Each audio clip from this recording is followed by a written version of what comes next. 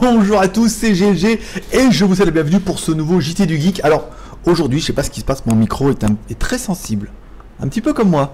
Je sais pas, le son il est à fond les ballons, alors il faut que je parle doucement, que je m'énerve pas, sinon le son sature et c'est un peu dégueulasse. J'ai déjà fait la vidéo et le son était dégueulasse, je voulais de la refaire. Bon, allez, donc du coup, un peu moins de suspense pour moi. Elephone vient nous annoncer son nouveau Elephone A4 Pro.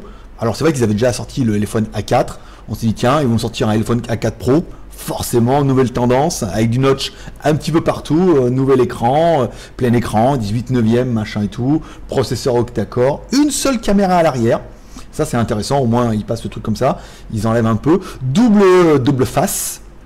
Comme le scotch, mais là plutôt avant en vert et l'arrière en vert aussi. Lecteur d'empreinte digitale sur le côté, où ça peut avoir du sens aussi pour le déverrouillage, on est bien d'accord. Euh, et tout. Voilà, merci. Allez, on regarde un petit peu sur leur site officiel, pas rien, si ce n'est que bon, précommande, tout glace, 4 plus 64, plus la micro SD, c'est normal, écran 18 9 9, voilà, à cause des, des notches en haut. Un écran verra que HD, température au côté, la charge rapide, batterie 3000. Bon, bah rien de foufou. Là où on aura un peu plus d'informations, c'est sur Gearbest, qui a commencé bien évidemment à le prévendre. Donc pré-order, le prix 150 euros. Là, c'est pas mal. 150 euros, on a quoi? Alors, écran HD, ça c'est un peu con. AMT 67 63. On n'est pas sur 6750, vous voyez, on est passé un peu sur un autre processeur. Android 8, 4 plus 64 plus micro SD, on est sur l'entrée de gamme. Caméra arrière 16, caméra avant 8, normal, faudra voir après ce que ça donne. Truc, Gravity, machin, GPS, GLONASS, espèce de GLONASS, euh, BDS. Donc il a bien américain, russe et chinois. Avec ça, t'es bien.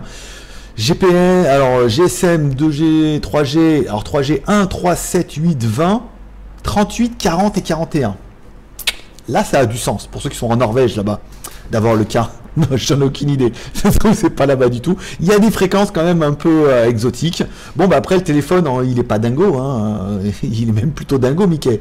Mais euh, bah, il est classique. Hein, un téléphone à 150 euros. Alors après, il est clair qu'il est beau. Après, configuration, on est bien d'accord que ça passe ça casse pas trois pattes à un canard laqué, mais il est beau. Voilà, après bon bah 150 euros, euh, le design est assez sympa, ça fait un petit peu iPhone quand même malgré tout, voilà. Vous me direz en commentaire ce que vous pensez de ce téléphone-là. Est-ce que c'est le genre de téléphone qui vous intéresserait ou pas du tout? Est-ce qu'il faudrait qu'on le demande en test? Est-ce que en fait vaut mieux passer et se concentrer plutôt sur d'autres téléphones? Voilà, les 3R, cher en partageant sur les réseaux sociaux, Facebook, Twitter, Google+, commentaire, mettez un commentaire sous cette vidéo pour dire ce que tu penses de ce téléphone, et enfin pouce en l'air si t'as aimé la vidéo. T'as pas aimé la vidéo, tu peux mettre pouce en bas. En fait, si t'as pas aimé le téléphone, tu dis bon bah pouce en bas, mais comme t'as bien aimé la vidéo parce que t'as appris un truc, bah, tu mets un petit pouce en l'air. Voilà, ça annule un peu.